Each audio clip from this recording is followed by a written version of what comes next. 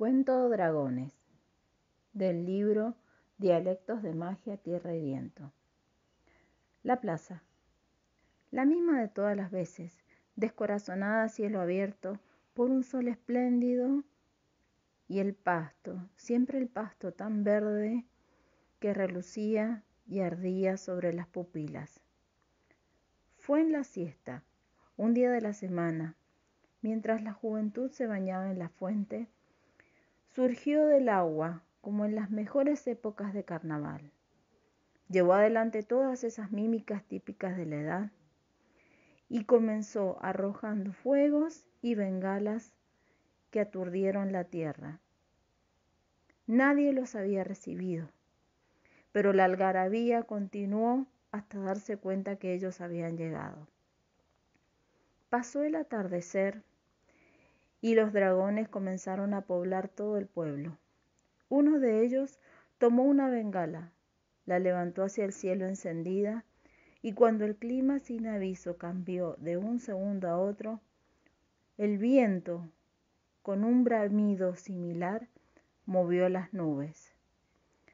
Todo se aceleró, enrojeciendo cualquier luz en el pueblo, piedras antiguas y sangre nueva.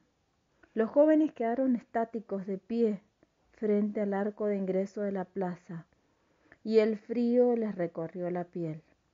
Fue así que esa masa negra y compacta giró sobre sus cabezas como el centro de un tornado.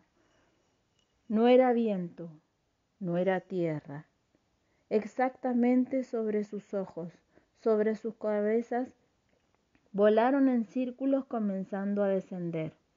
El escaso público de un día radiante se esfumó despavorido y las imágenes de la noche en su justicia se abalanzaron sobre cada uno sin prisa, igual que un presagio negro.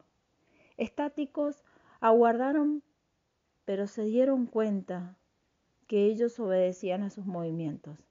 La vorágine seguía y seguía, centrada en la plaza, y al descubrir su poder, sintieron que podían alejar aquel mal recuerdo de ese lugar. Entonces comenzaron a correr lejos del centro del lugar como la única idea tentativa para esperar su salvación. No supieron cuánto habían corrido.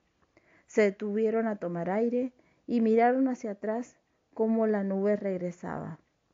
Casi sin aliento, se encontraron en terreno fuera del centro de la fuente. Ingresaron en un silo abandonado, temiendo lo peor.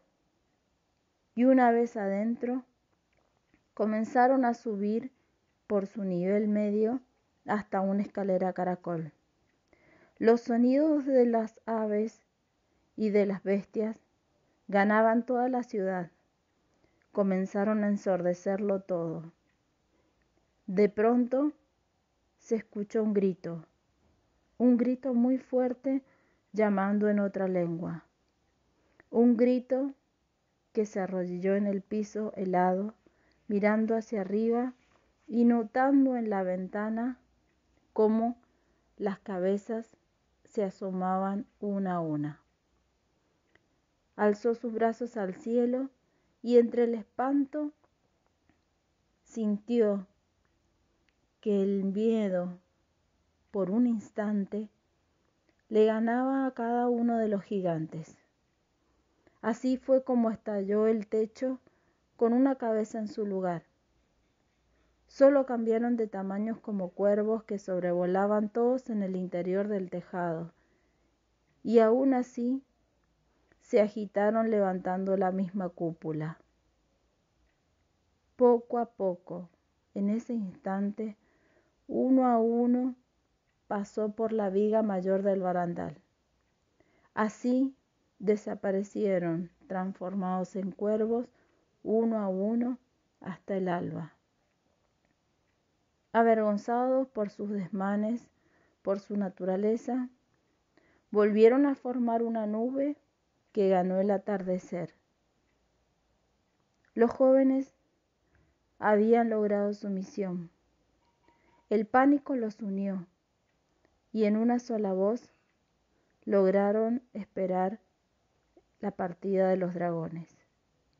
Cerraron sus ojos y el bramido infinito los despidió para alejarse.